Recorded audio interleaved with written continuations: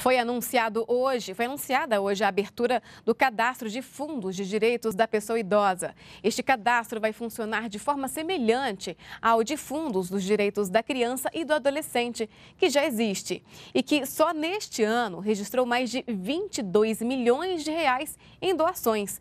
Com a abertura da nova lista, os fundos de direitos da pessoa idosa, estaduais, municipais e distrital, poderão se registrar junto à Secretaria de Direitos Humanos humanos para receberem doações de pessoas físicas e jurídicas dedutíveis do imposto de renda.